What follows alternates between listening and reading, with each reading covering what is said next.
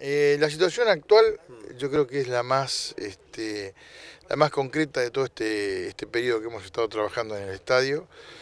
Eh, nosotros siempre, eh, siempre los escollos y sobre todo en la última parte y, las dilataciones en los plazos tuvieron sus causas en la parte financiera, en la parte económica.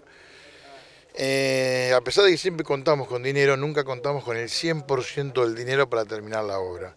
La realidad es que en esta instancia estamos por firmar el lunes que viene el mutuo este, que nos habilitará en un plazo muy cortito a tener el 100, a completar el 100% del dinero que nos falta para dejar el estadio eh, habilitado este, en, digamos, en la, concepción que lo hemos generado.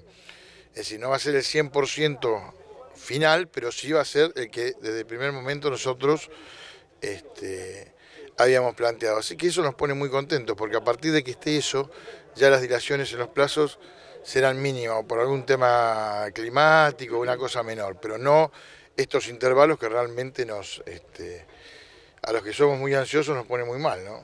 Y ya no va a depender a partir de que esté el dinero de eso, porque vamos a tener el 100% para terminarla. Nosotros calculamos que alrededor de nueve meses eh, podría estar ya en instancias de inaugurarla. O sea, rueda la pelota, inauguración y van a poder ir todos a 1.57. Así es la idea.